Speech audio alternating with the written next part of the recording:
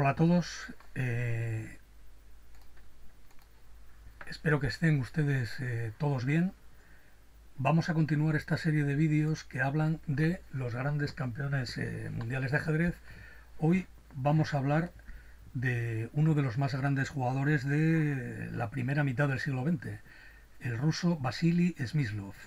Smyslov, que nació en el año 1921, eh, fue durante siete u ocho años el jugador más fuerte del mundo junto con el campeón Mikhail Botvinnik, al que se enfrentó en tres ocasiones, en tres matches, eh, en el año 54, en el 57 y en el 58. En el 54 empató el match por el título mundial contra Mikhail Botvinnik, pero como les decía en algún vídeo anterior, eh, las reglas favorecían mucho al campeón en, aquellas, eh, en aquellos matches por el título mundial. Botvinnik con el empate conservó el título y obligó a Smyslov a un largo camino de tres años eh, para volver a clasificarse en el torneo de candidatos, enfrentándose sucesivamente a los mejores jugadores del momento y derrotándoles y llegando de nuevo en el año 57 a enfrentarse contra el campeón Mikhail Botvinnik, al que esta vez sí derrotó por tres puntos de ventaja y se coronó campeón mundial. Posteriormente, en el año 58, y haciendo uso del privilegio que tenía el campeón de, tener derecho a un match en revancha, Botvinnik volvió a arrebatarle el título a Smyslov y a proclamarse de nuevo campeón mundial. Smyslov siguió siendo uno de los más grandes jugadores de la historia del ajedrez, pero eh, ya nunca pudo enfrentarse por el título mundial al campeón, que fue derrotado en el año 1960 por la estrella emergente, el, incomparable Mijail, Tal. Eh, Botvinnik era un jugador de una fuerza, eh, perdón, Smyslov era un jugador de una fuerza extraordinaria, un hombre eh, con un estilo absolutamente universal, que podía jugar cualquier tipo de posición y que tenía una gran habilidad eh, en el juego de los finales de partida, sobre el que escribió, sobre esta materia escribió algunos libros que forman parte de la literatura clásica Hoy vamos a ver una de las victorias de Smyslov en, eh, su match con Botvinnik en el año 57, el año que le permitió a, a Smyslov coronarse campeón del mundo. La partida comenzó con una defensa siciliana. Botvinnik no era un, un, jugador que utilizara habitualmente la defensa siciliana, pero las cosas no iban bien en el match y necesitaba una defensa más agresiva que le permitiera remontar en la puntuación. Normalmente a Botvinnik le gustaba emplear la defensa francesa o bien la defensa Caro-Kann, en la que era también un experto y que fueron dos de sus armas favoritas para enfrentarse a la jugada 1, eh, peón 4 rey, 1 e4. Pero en este caso, como les digo, escogió la defensa siciliana. La partida continuó caballo F3, G6. Esto se conoce como variante del dragón. Eh, dragón acelerado es el nombre técnico que se emplea para denominar esta apertura. Aquí Smith lo jugó C4, que es una jugada que eh, da nombre a todo un sistema que se llama sistema Marozzi. Geza Marozzi era un jugador húngaro que, digamos, popularizó este sistema con los peones N4 y C4 que pretenden eh, bueno, pues impedir las rupturas eh, con el peón D5 o con peones A6 y B5, confinando a las, a las negras en una posición más restringida en tres filas y dando a las blancas una clara ventaja de espacio durante gran parte de la partida. La partida continúa alfil G7, D4, D6, caballo C3, caballo C6 y alfil E3 y aquí las negras utilizaron la jugada alfil G4 que hoy día la teoría considera dudosa y que no permite igualar a, a, las negras. Bueno, es una jugada que pretende ejercer una fuerte presión en el punto D4 de las, de las eh, blancas, pero se sabe que en este momento la mejor jugada es C por D4, caballo por D4, caballo F6, alfil E2, enroque, enroque, alfil de 7, dama de 2, caballo por d4, alfil por d4, alfil c6, f3, a5, torre b1, caballo de 7, alfil e3, caballo c6, b3. Y bueno, esta es una posición que la teoría actual eh, sigue considerando aceptable para las negras y que se juega en multitud de ocasiones. Las blancas tienen una pequeña ventaja por su, por su ventaja de espacio en el centro del tablero, pero el negro tiene una posición muy sólida y hay una lucha larga, una lucha estratégica larga por delante. Esto es lo que actualmente, eh, digamos, cómo se juega esta posición en la actualidad. Pero en aquel momento Botvinnik utilizó la jugada alfil G4 y aquí eh, Smyslov optó por una jugada muy interesante, D por C5, ganando un peón en la casilla C5. Por supuesto, existe la posibilidad de cerrar el centro ganando un espacio importante eh, atacando el caballo de C6, pero esto no se considera especialmente bueno por la jugada caballo de 4. Y aquí prácticamente la única posibilidad es alfil 2 y aquí hay una posibilidad de mantener el caballo en D4 y seguir desarrollando las piezas. Esto se considera aceptable para las piezas negras. Si eh, las negras optan por alfil por C3, destrozando la estructura de peones, doblando peones aquí, pero desprendiéndose del alfil principal de G7, esto se considera una posición, bueno, jugable, pero comprometida también para las, para las piezas negras. ¿no? El plan aquí es curioso porque resulta mucho mejor no enrocarse y jugar el rey directamente a F8 y G7, dama E2 para jugar el peón a F4, para movilizar su centro moviendo el peón a F4, y aquí F6, F4, H5, A4, caballo F7 y las negras hacen una especie de fortaleza controlando el punto E5 eh, con una posición muy sólida pero pasiva. ¿no? Las blancas pueden o bien doblarse en la columna B y presionar con las torres en esta columna o bien en un momento determinado preparar de alguna manera la ruptura en la casilla E5. Esto es jugable, pero es una posición bastante pasiva para las negras que tienen que ir viendo cómo las blancas buscan maneras de incrementar su presión. En lugar de eso, Smyslov optó por, este, por aceptar este sacrificio de peón de por C5. Aquí, por supuesto, existe la jugada dama A5, pero parece que después de C por D6, alfil por C3, dama por C3 jaque, alfil de 2, dama A3, y aquí hay varias jugadas, ¿no? Se puede jugar dama B3 intentando obligar a las, a las blancas a cambiar en B3 y eh, recomponiendo la estructura de peones después de A por B3 o eh, a la captura dama por D6 ante la que vendría C5, una jugada muy fuerte, dama E6, dama por E6, alfil por E6, caballo G5, caballo F6 y esta posición es bastante desagradable para las negras. Las blancas tienen los dos alfiles y tienen una fuerte presión en la casilla B7, donde pueden presionar con sus torres. Esta es una posición bastante ventajosa para las blancas y no es de extrañar que Botvinnik rechazara esta, esta tentación. Eh, Botvinnik, como digo, tomó en, en C5, Smyslov cambió, torre por y alfil por C5 ganando el peón. Alfil por C3, porque en este caso es la mejor jugada, doblando los peones, haciendo que el peón de más mm, no tenga especial importancia, porque los peones quedan doblados, B por C3 y aquí caballo F6.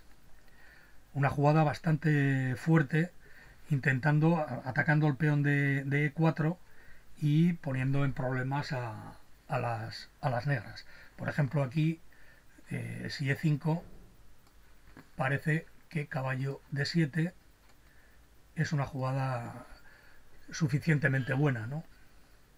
Alfil de 4 es una jugada posible, pero después del alfil por F3, E6, porque prácticamente no existe otra posibilidad, atacando la torre en, en H8, perdón, en, en H8 aquí, eh, caballo por D4, perdón, caballo por D4, E por D7, jaque, torre por D7, y aquí las, negras ganan porque si eh, G por F3 vendría caballo C2, jaque y caballo por A1, y en el caso de C por D4 sencillamente alfil F5 y las negras tienen una posición bastante buena eh, prácticamente tendrían que jugar aquí y después de la jugada B5 las negras están bien.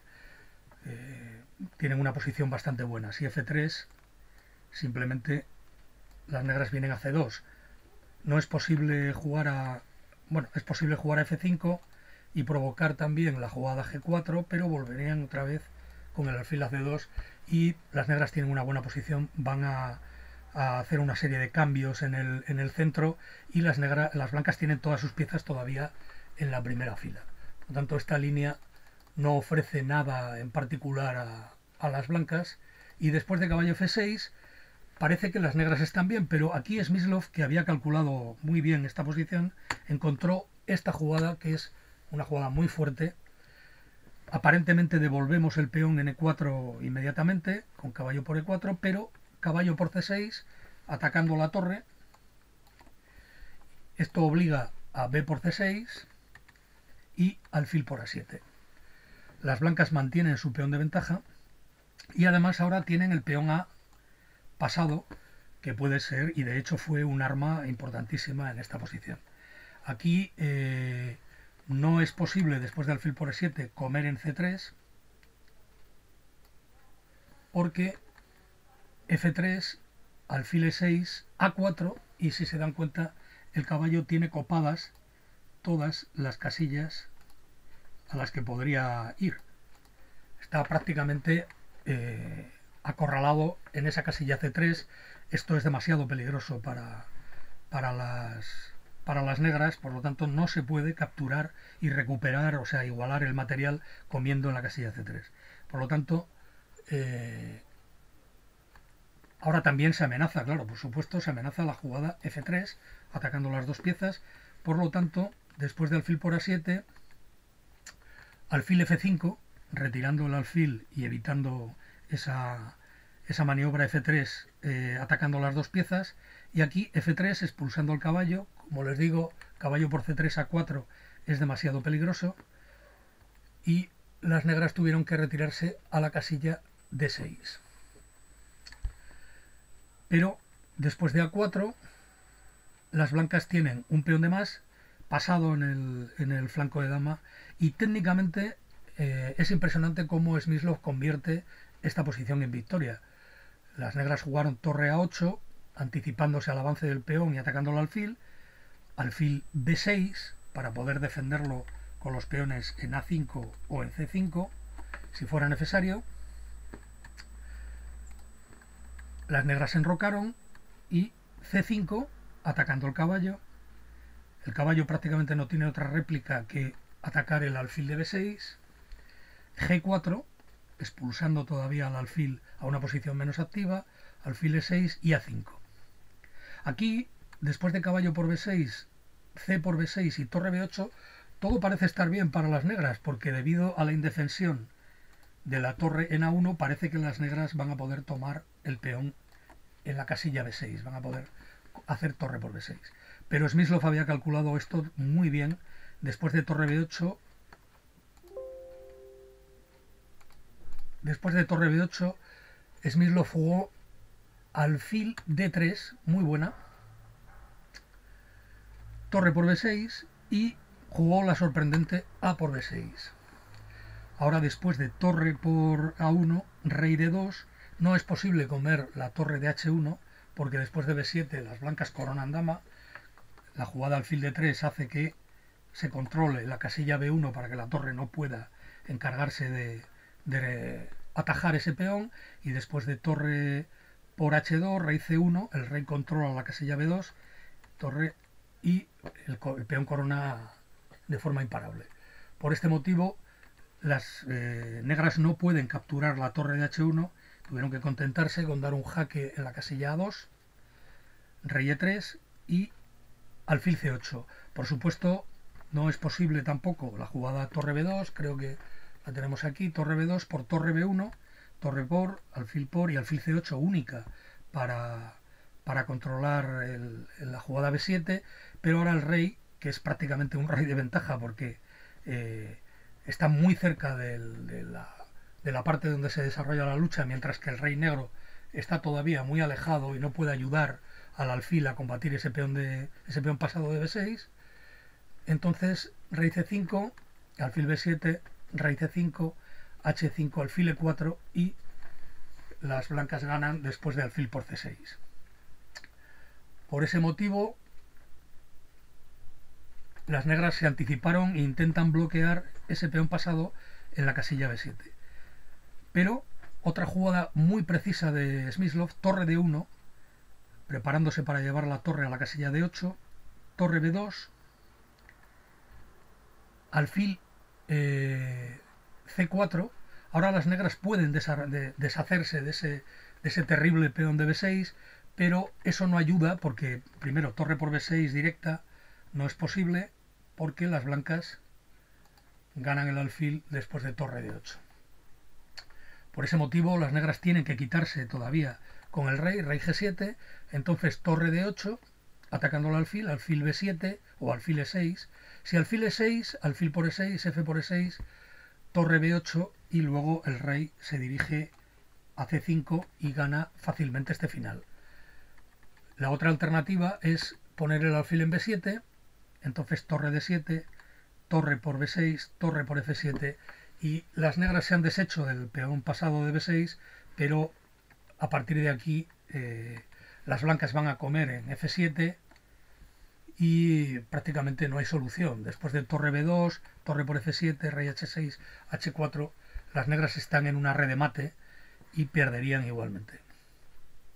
Por este motivo, desgraciadamente para ellas, no pudieron eh, hacerse con el, con el con el peón de B6. Jugaron rey G7, torre de 8. Eh, la partida jugaron alfil E6 y después de alfil por E6, F por E6, torre B8, prácticamente las negras tomaron, bueno, si torre por H2 es muy sencillo, torre C8, amenazando B7 hay que volver inmediatamente, torre por, por C6, H5, peón por, peón por, rey F4, las blancas se dirigen con el rey a la casilla G5 y no hay manera de que las negras puedan, puedan impedir eh, que las blancas ganen este final. Si las negras se mantienen defensivamente con la jugada rey F6, el plan de las blancas es muy fácil, unen sus peones, C4, eh, seguido de C5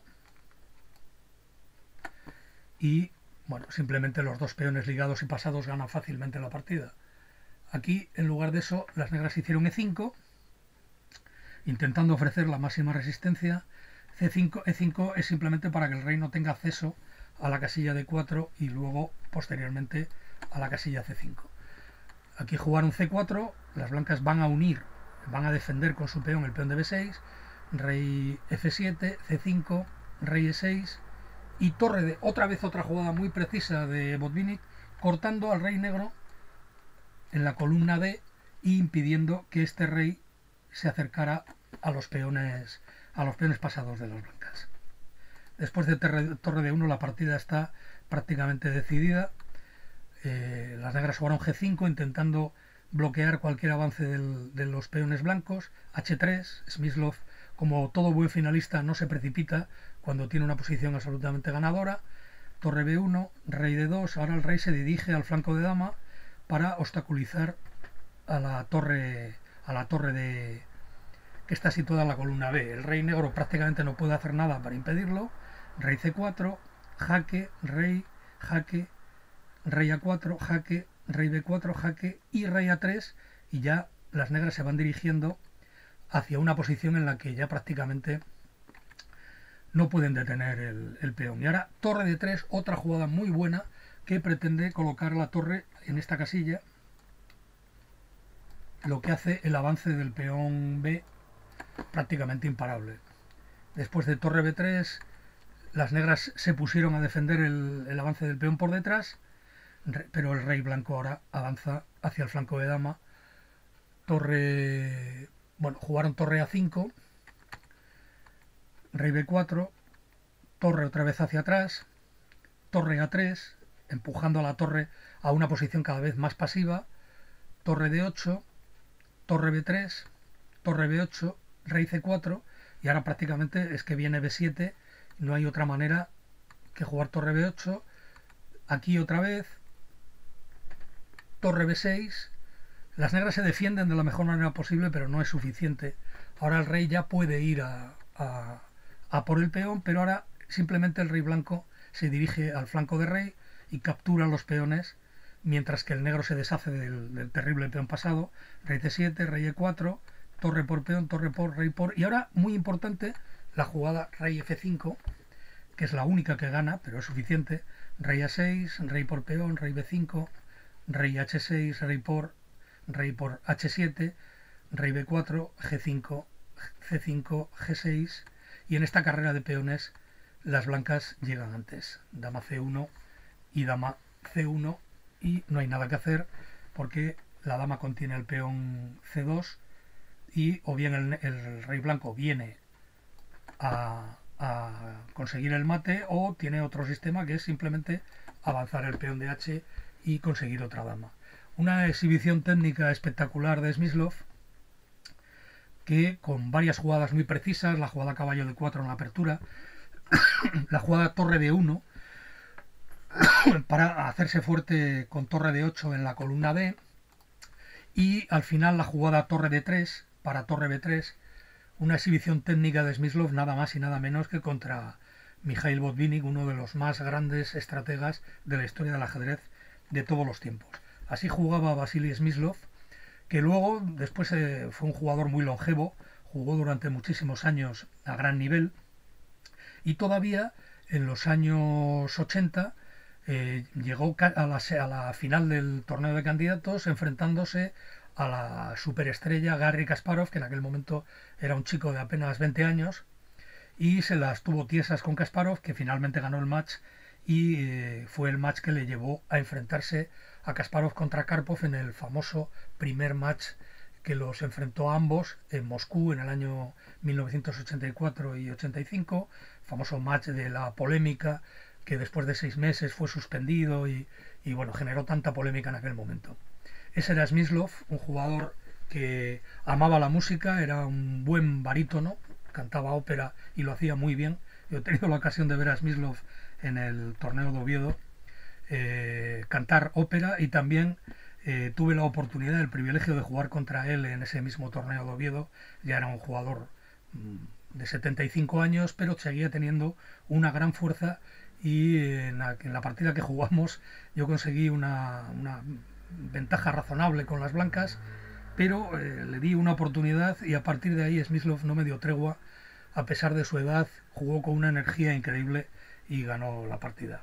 uno de los más grandes campeones que murió en el año 2010 y que ha pasado a la historia con todo derecho a la historia de los más grandes jugadores del ajedrez de todos los tiempos. Espero que les haya gustado esta, esta partida y un poco eh, esta revisión del juego de, de Smyslov. Quería ponerles un problema de ajedrez para acabar esta, esta sesión. Vamos a ver si lo encuentro. Este ejercicio de ajedrez, que es esta posición. Este es un poco más difícil que los problemas que les he puesto en vídeos anteriores, pero es muy espectacular el remate y además, bueno, supongo que no es tan difícil encontrarlo porque simplemente las blancas juegan y dan mate en solo dos jugadas, pero es muy espectacular. Espero que lo disfruten porque es un, brillante, una brillante solución táctica la que las blancas tienen a su disposición en esta posición. Y ya sin más, eh, hasta la próxima. Eh, espero que les haya gustado este vídeo. El próximo será de mi compañero Jaime Santos que les hablará, creo que de una de las más grandes estrellas de todos los tiempos del ajedrez, el, gran Mijail Tal, el rey del sacrificio, el gran táctico Misa Tal. Eh, hasta la próxima y cuídense.